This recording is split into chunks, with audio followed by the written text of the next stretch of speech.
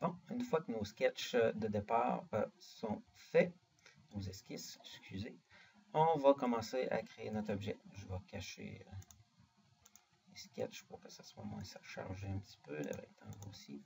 Donc, je vais garder juste les principales. Et on va y aller, on va commencer au niveau surface. Je vais extruder la partie du dessous. Je vais commencer par le dessous. Vous voyez, comme ça. Et ensuite, je vais, avec ce sketch-là, je vais découper la première surface pour vraiment garder, avoir vraiment le dessous euh, de ma selle.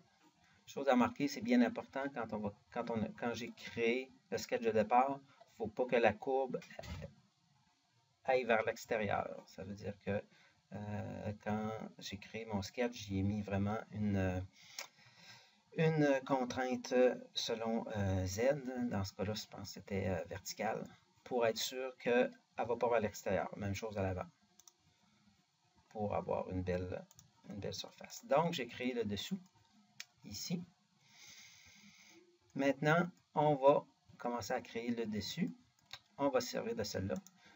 Euh, moi, la façon que j'aime bien faire, c'est extruder celle-là, mais on va l'extruder dans l'autre sens.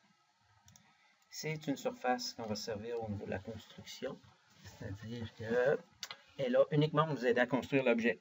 Elle n'est pas là, euh, elle ne fera pas partie intégrante de l'objet, elle est là juste pour nous aider.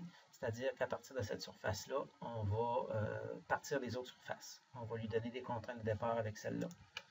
Euh, c'est une façon de faire. J'aurais pu ne pas la créer et garder uniquement le sketch, mais moi j'aime bien visuellement avoir cette surface-là. Ensuite, on va créer nos profils au niveau de... Dans le fond, là, on a cette ligne-là qui est vraiment la, base de la selle. On a cette ligne-là, mais ça nous prend les profils en tant que tels. On va les créer. J'avais déjà créé quelques plans pour nous aider à l'avant et à l'arrière. Et on va simplement créer des esquisses sur ces plans-là pour donner la, nous donner des courbes guides au niveau de, la selle. Fait qu'on va y aller avec une spline. On peut la créer n'importe où dans l'espace. Et ensuite, on vient la relier. Ah, avant ça, je vais simplement cacher mon esquisse. Pourquoi je cache mon esquisse? Parce que je veux vraiment m'attacher à la surface et non, euh, et non au sketch. Parce que ça se peut que euh, quand le logiciel calcule à 5-6 euh, décimales après, après la virgule, bien, ça se peut qu'il y ait une petite variante au niveau du sketch et de la surface. Donc là, je suis sûr et certain que je vais toucher à la surface. Même chose ici. Pour prendre les deux, on touche le point, contrôle la ligne, et il nous donne les contraintes qu'on peut lui mettre. On va y aller avec des points de rencontre. Ensuite, allons-y, mettons des contraintes. Dans ce cas-là, je vais lui donner selon l'horizontale. Donc, il va sortir vraiment horizontal. C'est une bonne relation versus celui-là qui sort à l'horizontale aussi. Donc, il devrait avoir une belle continuité. Ici, euh, sur l'autre bout, euh, je vais faire un petit peu la même chose, sauf que ça va être vertical, pour être sûr que ça sort bien droit. Que ma courbe, exemple, si je lui enlève la relation, pour être sûr qu'elle ne sort pas vers l'extérieur. C'est en mettant une contrainte de verticalité, ben, je suis sûr et certain qu'elle ne sort pas vers l'extérieur. Là, on peut regarder si la shape est adéquate. La shape, je la trouve peut-être un petit peu comme ça. On va y aller comme ça. On y va vraiment à l'œil, étant donné qu'on n'a pas trop, pas d'autres données. Je vais créer la même chose au niveau de... Il y en a beaucoup qui vont dire pourquoi me créer, pourquoi pas prendre une esquisse 3D. Personnellement, j'aime mieux les esquisses euh, standards. Pourquoi? Parce qu'on a plus de contrôle dessus. C'est-à-dire, euh, une esquisse 3D, euh, on n'a pas de contrôle nécessairement au niveau du Z. Tandis que quand on prend une esquisse standard, on est sûr qu'on est sur un plan. Donc, personnellement, je trouve qu'on a plus de contrôle. On va refaire le même stratagème. Même chose. On va sortir la verticale. Ah, la shape, euh, déjà, le départ, elle est quand même pas pire.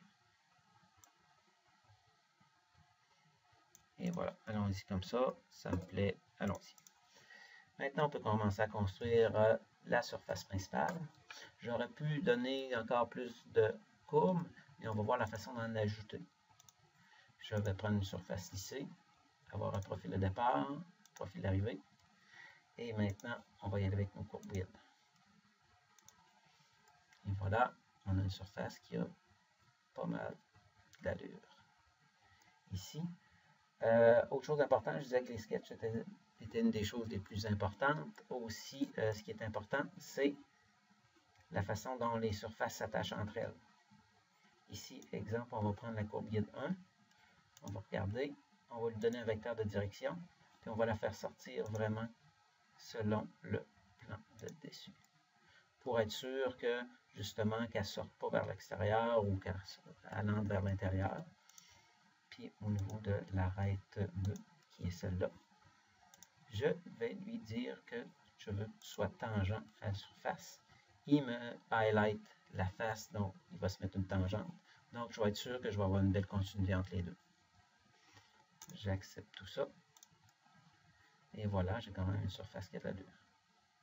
Exemple ici, je voudrais avoir un petit peu plus de contrôle sur la surface.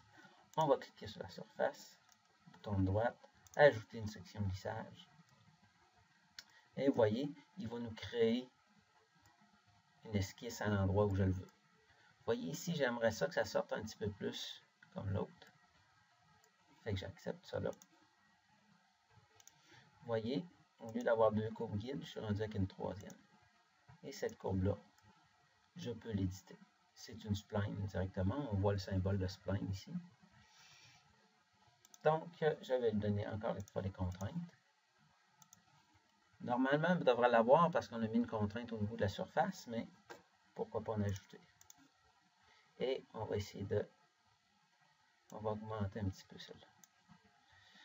Et on va la faire augmenter un petit peu plus comme ça. On va voir ce que ça va nous donner.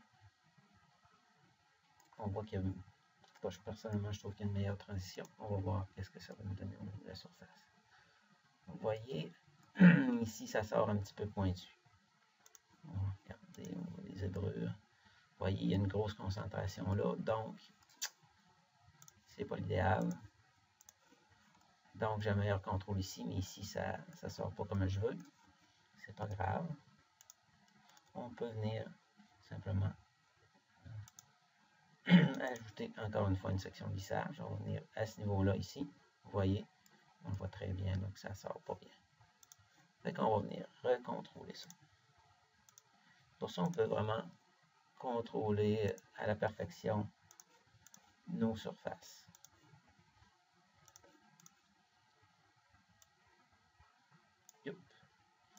On va venir l'aplanir un petit peu.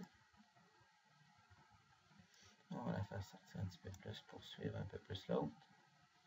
On voit qu'on a quelque chose qui ressemble qui ressemble un peu. Et on va voir ce que ça donne. Ah, un petit peu mieux.